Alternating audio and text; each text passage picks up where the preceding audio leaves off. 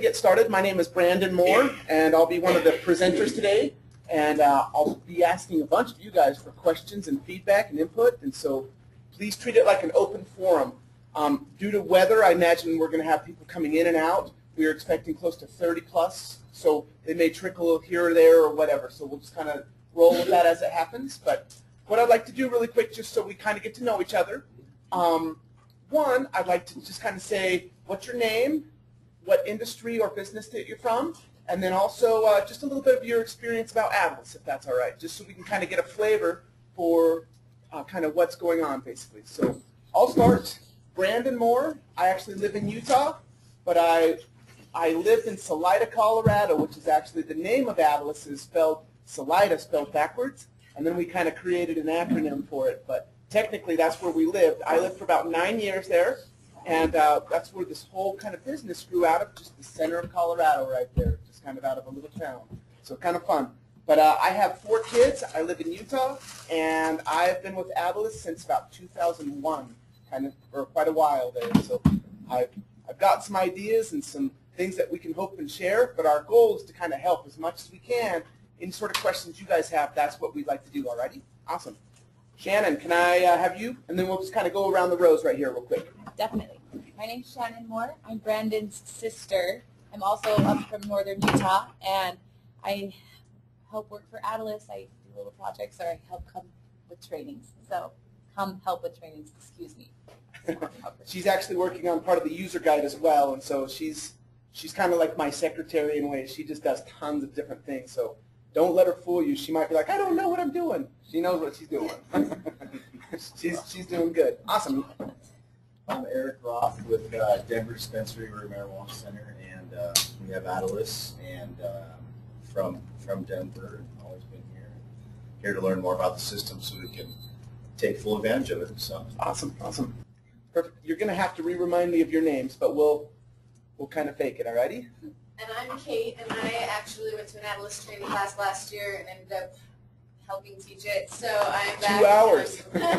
trying to do the same, and I'm also from the Giving Tree of Denver, so I'm personally working with MITS and through all the same headaches as a lot of you centers. So if you have any questions as far as that goes, I will help you to the best of my ability. I've made every mistake, so I know how to fix it. so I'm going to just brag on Kate for just a minute. Literally, it was last April, and we did a training, and we're like, hey, does anybody want to kind of show how they use it? And we, she ended up coming up, and she ran with it probably for an hour and a half, two hours, and she's like, here, you do this and this. It was so funny because she's like, okay, let me show you how you, here's how you do the homie hookup. And it was really fun. Like, uh, really, really, I enjoyed it. And so I'm excited to have Kate back with us. So Kate, we'll definitely have you in the driver's seat at some point today, okay?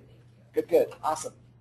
My name is uh, Randy Mills. I am from the Kindman Dispensary, and I'm actually one of the growers in there, and your work is very new to me.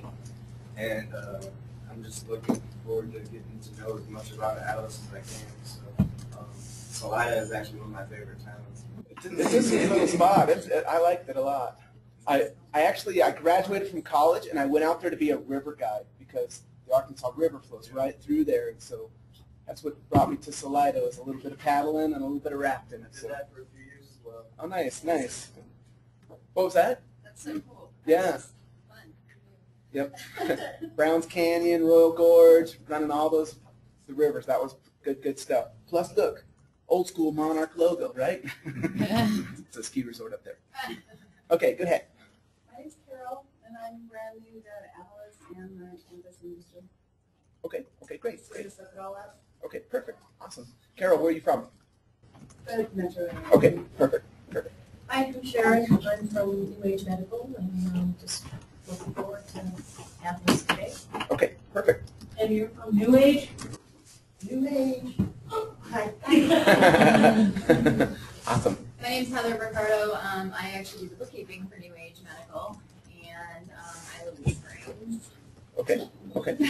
we haven't used any of it. I just sat down with Steve, so I have very minimal exposure, but very interested in its capabilities. Okay, great, great.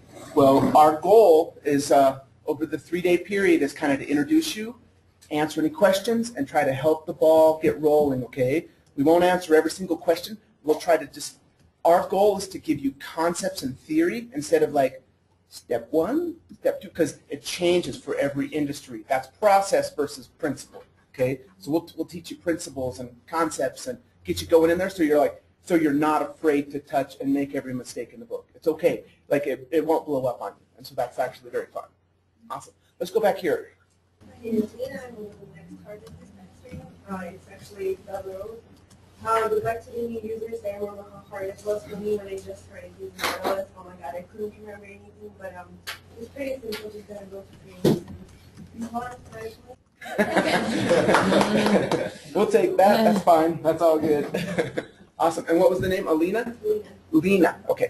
Uh, my name's Blake. I'm with uh, M&M Pool and Concrete Specialist. Oh, Uh, perfect. they just hired me on to expand and grow their business. Uh, this is actually my first week um, trying to get integrated in their business and see how I can uh, you know, utilize this to save on cost and uh, track all of our spending.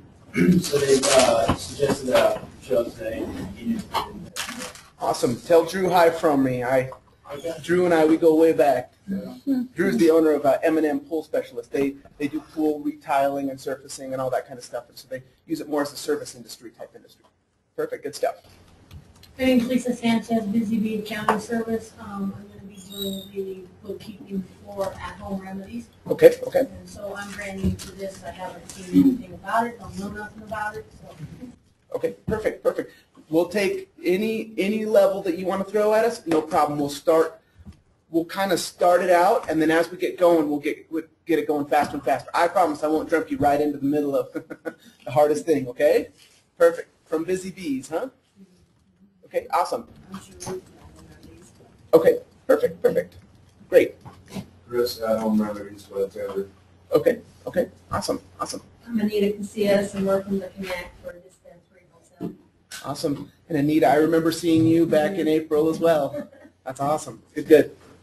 My name is Cora Martinez from the Connect also. The back of the house, basically all the PO intake and inventory.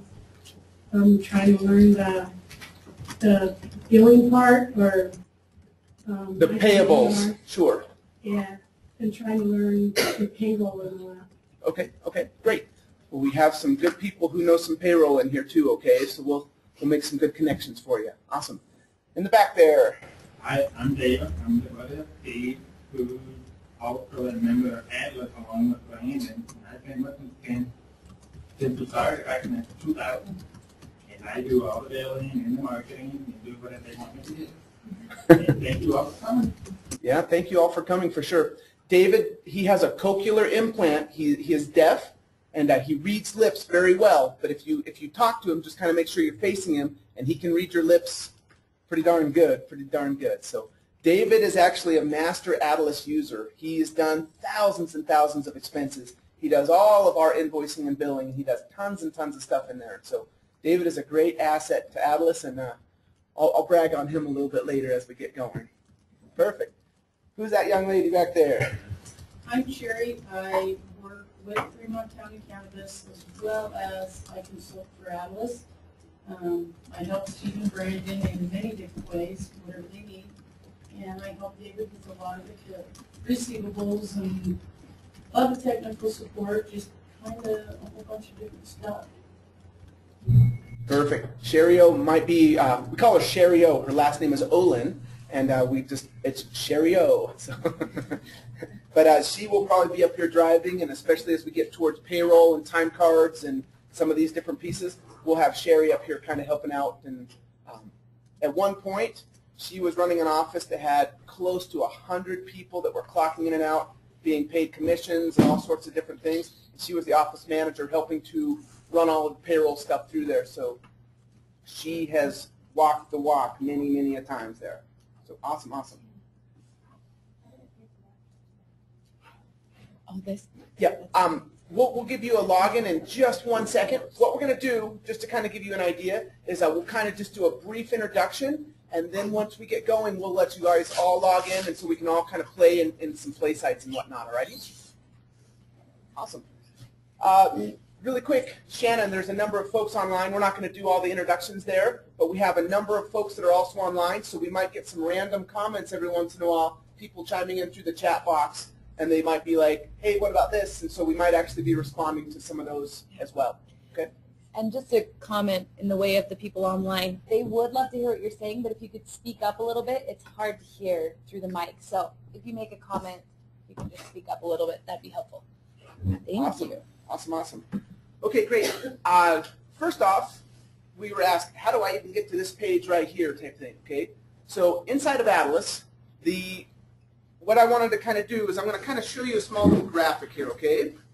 So basically, this little graphic right here shows a few of the co- core concepts of Adilas as far as like what's going on and what's happening.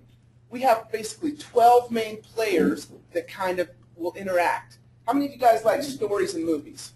You guys, media folk? Okay, what's what's a favorite movie? Alice in Wonderland. Okay, the new one? No. No, the old one. Okay, the classic one. Okay, the classic one with the little rabbit and stuff. Okay, so uh, basically what happens is what what I'm trying to do is kind of introduce this, if that makes sense. But if you can start think of characters and how they relate and interact, it creates these things called relationships. Okay, so a character creates a relationship.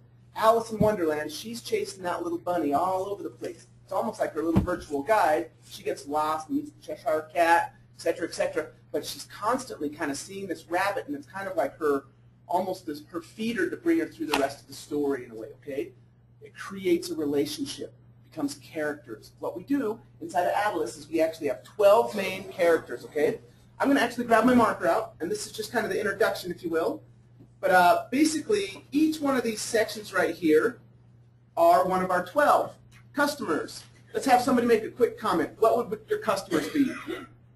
Kate, what do you think? What are your customers? Think member or a non-member, or you mean like, Yeah, yeah, just, just kind of in general.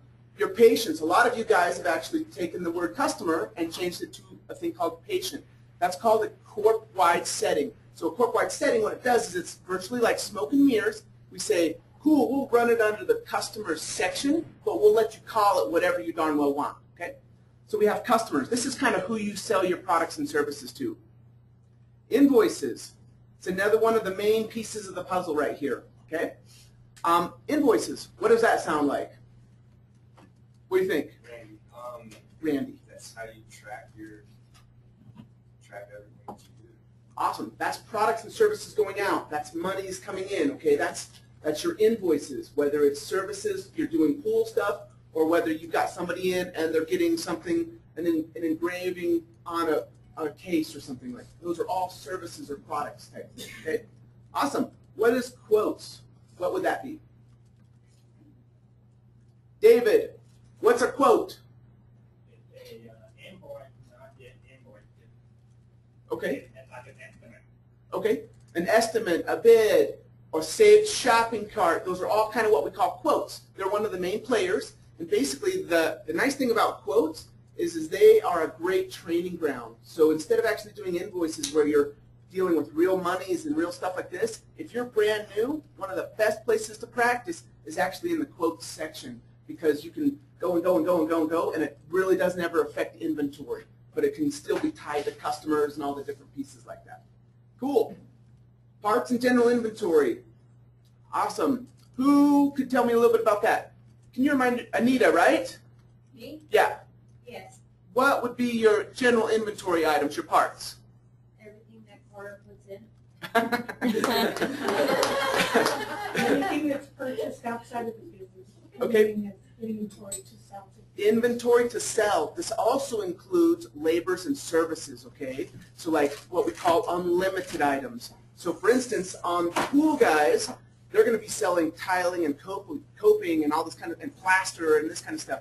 They're going to set up one little item and they're going to use it over and over and over again. Call that an unlimited item, okay? It's not necessarily a perfect quantity like, say for instance, those hot tamales, once I eat them all gone, that's my inventory is shrinking or, or diminishing, okay? That's what we call a monitoring of quantity, but these are your, your items. The word parts, a lot of you guys probably don't even see that word in your system. That's another corp-wide setting, and we allow you to name it kind of whatever you want. MMJ items, pool supplies, et cetera, et cetera, you know, your widgets, whatever. So we allow you to do that. Okay, another one of the main 12 are stock units. What would a stock unit be? I usually keep on hand. Okay, okay, great, great. Um, the interesting thing about stock units is this thing called serialized inventory. Where Adilas kind of came from, just to give you a little history, is we came from the used car dealership industry and trailers and toppers and RVs and all that kind of stuff. So our stock units, they were our big ticket items. 5,000 bucks a pop, 30,000 bucks a pop, you know, 50,000 bucks a pop. They were single items and we had to track individual serial numbers, VIN numbers. Uh, we added outside repairs. We did internal ticketing. They're kind of like a, an entity all of itself. That's kind of where we had actually started, is a thing called stock units, okay? So for instance, jewelry or guns or anything like that, those would be kind of a serialized unit. It's not, you're not just going to put them in a little bin and then just sell them out dime a dozen. They're individual, okay? Awesome. Elements of time and scheduling. Sherry O, what's elements of time? Um, it's our built-in calendar. Okay. You can track a phenomenal amount of things on your calendar. Um, I use it personally for consulting with Adilas. I use it for the company that I take care of. I document when their payroll taxes are due, their quarterlies are due, many different things that kind of help owners as well as head management. Um, because a lot of times you find they don't know when those due dates are, and I just like to make sure they do. Um, so I utilize the elements of time in that fashion um, to communicate with the owners and management and to document time-sensitive dates that they need to know about and such. Perfect, perfect. Just so you guys can see, as I start circling these little entities, I'd like to draw your attention over to this little graphic right here, okay? So there's a bunch of different levels that things happen in the Adilas world. When we start talking about your patients, your customers, your students, your whatever, okay, they technically are in the group level. Each one of these things, as I circle them, are in your groups, okay? When you log in, we don't know where you're coming from. Are you in the Denver area? Are you in Texas? Are you in Arkansas? Are you wherever, okay? Eventually, you have to kind of filter yourself in so we know which worlds you're dealing with, okay? Are you in the Connect? Are you with the Giving Tree? Are you with Denver Dispensary? Are you with et cetera, et cetera, okay? Like, we have to kind of know which worlds you're kind of coming into. So if there's tons of little uh, users out there, eventually through a login, we get you into your world. Worlds are divided into locations, and locations can be as deep as we want to go, okay? There's a client that we have that's back east, and they have 40 plus locations that they're dealing with. So their, their model is stacked very high, if that makes sense, okay? Instead of just a single level, think of it kind of like a high-rise building or something, okay? Those, that's on your location level. Once we get into the groups, that's what we're kind of just doing right in here as far as introducing some of the key concepts and core players, and then we'll kind of get started from there, okay? Awesome. So the next one that we've got is this little thing called employee users. Who can say what an employee user might be? The people you allow to use the system. Correct, correct. Okay, that's people you might be paying, and it's also people who have permissions. So the important thing about a user is they're able to kind of transverse all of these different places, if that makes sense, okay? They can move. Another cool thing is, guess what? If we actually had users, what if we had users here, and they actually wanted to be connected to this world, and then also connected to this world over here? Do you think a user could do that? Absolutely, okay? We've, we tried to design it so that users are bigger than businesses. So if you want, if you, got, you guys like Star Wars at all? Anyway, they have tons of spaceships and they go from planet to planet to planet, okay? The planets don't physically move. The planets are the planets, but the spaceships and, and the, the different people, they are able to transverse and go across those different connections. So we try to make it so that users technically could be bigger than a world or a corporation, okay? Awesome. So I want to show you this next one right here, vendors, and I wanted to also do this. This is kind of a little bit funky, but I wanted to kind of put a superstructure around this particular one. Vendors and employee users are technically stored in the exact same table, okay? The main difference is we pay or get POs from vendors, but eventually we probably have to pay somebody Well, guess what? We also have to pay employees if we're doing payroll. And so what we do is we put them in the same table, and then they just get a little flag.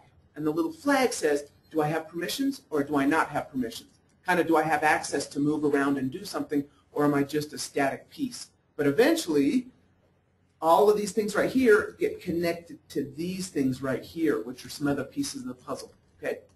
So a PO, what's a PO? Who can help me out there? Okay, purchase order. Sometimes also people will call them production order, depending on if they're building and making and doing things like that. Inside of Adilas, we use a PO as an inventory tool. So what this allows us to do is basically we can say, so your outgoing side is your invoices, right? Selling stuff out, selling stuff out. Your incoming side is your POs. However, we also use POs to update quantities. We also use POs to do things called recipe and builds. Like if we're taking some of this, some of this, and we're combining it together and making something, we'll use a PO. We use POs are multifunctional inside of Adilas. So it's not just, hey, I'm getting five of these little items from somebody, but it, it is a, a cool little piece of the puzzle, okay? Expense receipts. I'm going to ask David because he does a ton of this. David, can you tell me what an expense receipt is? expense um, that comes for anything like gas, anything, anything, and then you can apply to any location. Okay, perfect. So you- can take it and you can pay for something. It's money's going out of your out of your bank usually, okay? So is that payroll? Is it a vendor? Is it a payable? Is it a lights? You know, like electricity, internet, et cetera, et cetera. Is it lunch? Like those are all what we would call expenses, okay? One of the most flexible pieces is actually expenses. Expenses can actually hold other expenses. So say for instance I was paying um, on account. Say I got a credit card and I go and I buy some gas and then I buy some food and then I buy some of this and then I want to turn this all in and get reimbursed for it. Okay. So an expense receipt actually allows you to record all these little subs that are going out and then I can put them all together and pay one little payment out to them. Like it actually allows stacking within that particular group. Okay. So each little group kind of has its own little methodology, if you will. Okay. Awesome. I'm going to skip banks. Banks is actually not one of the main 12. It actually connects this. So an expense is going out. So let's say money going out. A deposit is money coming in. Okay? And together they create, we use a bank to kind of create that connection. Does that make sense how that works? Now technically banks exist outside of your model and you can have as many as you want. Okay? If you start doing expenses and deposits, you have to have at least one in order to kind of make that connection, but it's unlimited. Literally, if you had five banks, 10 banks, 50 banks, it doesn't make a bit of difference, and you would just tie the expenses and deposits between them. You could even do transfers, which then would allow kind of interactions and connections through that type of stuff, okay? So banks technically kind of exist kind of outside of the model, but they're very important so that we can bring it all together. Awesome.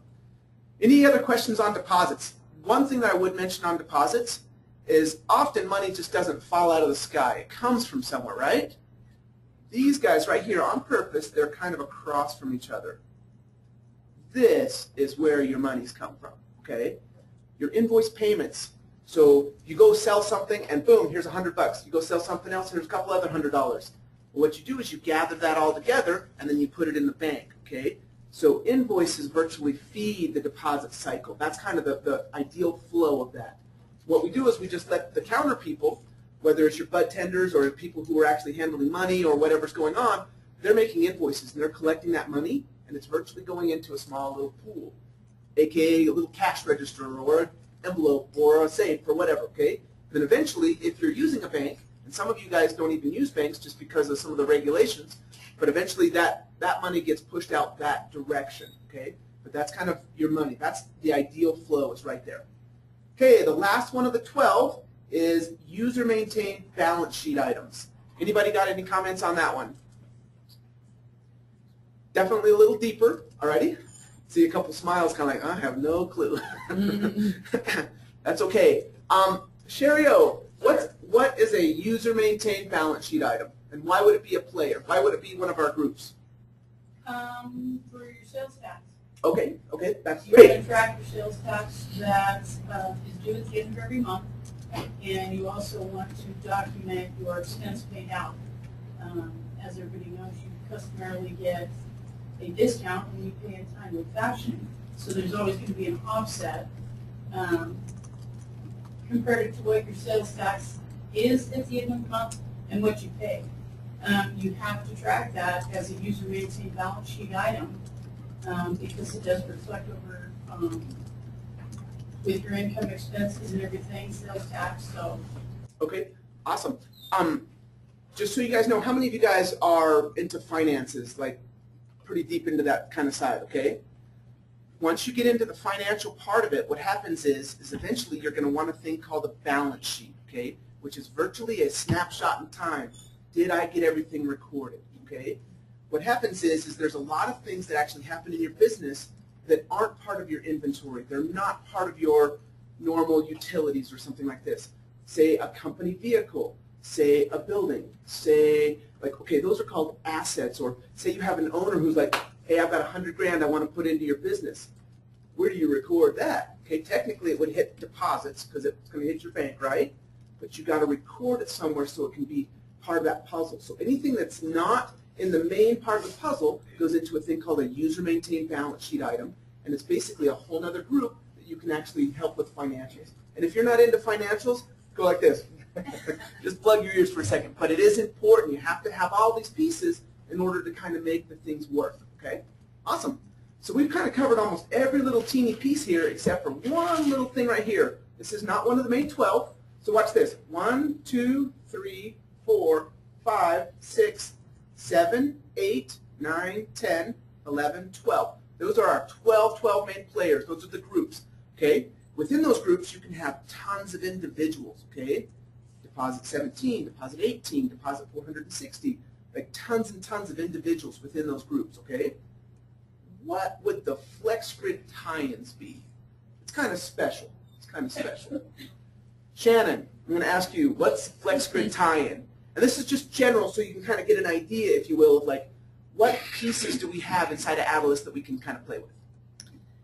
I, I guess to maybe explain it, I would say FlexGrid is something you could use with any of those 12 main players. So it can be associated with any of those 12 main, and you can do lots with it. You can create relationships, or you can tie things together or add extra notes. So it's basically a tool that you could attach to any one of your 12 main players to add extra information. Okay, awesome. So FlexGrid just can't exist. And day two, we will cover a little bit of FlexGrid. So on the introduction, you go, whoa, whoa, whoa, we've already gotten a whole bunch of new verbiage. Day two, we'll cover a little bit of FlexGrid. But FlexGrid is virtually like a miniature database that you can plug in on top of your other pieces, mm-hmm. okay? So watch this. Customers are tied to invoices. So your patient comes in, you sell them something, and then they're tied to items, okay? Those are natural relationships that start existing, okay? What happens if you had a customer who special ordered something, and all of a sudden you have to say, okay, customer, I need to tie you to an item and also to a PO. Well, how does that happen? You might use some FlexGrid, okay? It's kind of, oh, hold hands. I need you guys to be buddies for a second, okay? Or what happens here, say something random happened in your balance sheet. Somebody gave a whole bunch of money, but then they ended up paying it directly here instead of it even hitting the bank or something. You might want to track these special relationships, and you would use the flex grid as a virtual connector, okay? That's one of the ways that you can kind of use the flex grid, okay? It's also really wonderful for collecting data, especially in a grow. You can actually get your sweet leaf, what your buds are producing, things like that. Collect the data, insert them into your individual purchase orders or whatever it is you're using to make create your plants. And then that way you are now knowing what are your best producers, what are the things that are giving you the most waste. And that's wonderful because obviously that's really useful information, especially in the MMJ industry. Awesome, awesome. So the FlexGrid, it actually has 15 custom fields that you can have per 12 of your main groups, okay? So what, what she's doing is she's saying, wow, we use FlexGrid all the time on our POs. They're using POs to basically use it to create plants that they're growing for their people, okay? And then they're recording wet weights and dry weights and this and scrap and hash and all this different little things like this. These are fields that Adilas creates automatically, okay? Adilas is a very generic business model, but we give you the power to kind of say, man, I need it to do this, or I want to call it this. And we give you those settings and options, and then you're able to kind of virtually kind of tweak it out like that. Alrighty? Cool. I'll go ahead and uh, erase all my drawings. I, I do tend to draw quite a bit. If you like it or don't like it, just let me know, and we'll kind of go from there.